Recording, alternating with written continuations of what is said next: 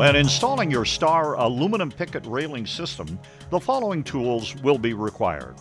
Safety glasses and ear protection, a cordless power saw with carbide blade, a cordless drill and or a cordless impact gun, measuring tape, rubber mallet, caulking gun, a level, some drill and driver attachments such as pilot drill bits, a number 3 square driver bit, a socket bit, and a pencil. Prior to the installation of your Star aluminum picket railing, you'll need to do a thorough deck review and inspection to ensure the integrity of the mounting surface. Deck review and inspection issues include confirmation of site measurements, checking for deck irregularities that may interfere with the railing installation, confirming if your mounting surface is level or has a slope to allow for drainage, confirmation of a solid structurally sound mounting surface to attach your rails to the deck. It's critical to confirm that either a solid mounting surface or blocking is installed under the deck substrate at all post mounting locations. This will ensure a structurally sound attachment of the railing system to the deck structure. Consult your design professional for the recommended deck framing or blocking detail required for your application. Once you have completed your deck inspection, you can make a final confirmation of your railing material needs for your application.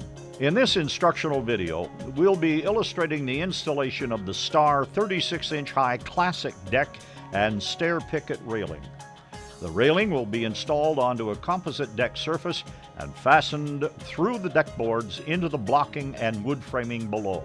We'll be installing the picket railing assemblies constructed in part one of this instructional video series. And for this specific application, we'll be illustrating the usage of an end post, a corner post, and a saddle post to support the deck railing, joining into the top stair post with top and bottom sleeves. The stair rail runs between a top and bottom stair post with punchouts in the post face to simplify the installation of the rackable, code compliant stair railing. Please note there is a top and bottom stair post. The top stair post is the shorter of the two posts. Also install bottom rail support legs to prevent our bottom rail from sagging. Other items you may require include exterior grade silicone to secure your post caps firmly into place on applications with stair posts. Number 10 1 inch stainless steel Tek screws to connect the posts and sleeves to the railing as shown, and stainless steel anchors, bolts, or lags to attach the posts to the deck surface. We'll be using stainless steel lag bolts to attach the railing structure on our instructional deck.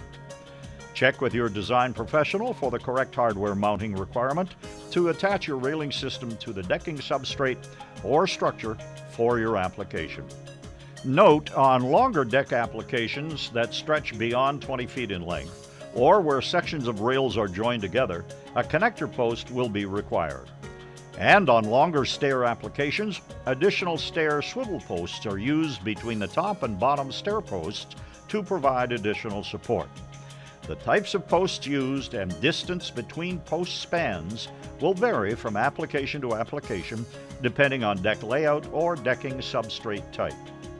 Consult your STAR representative or your design professional for additional information on maximum spans between posts.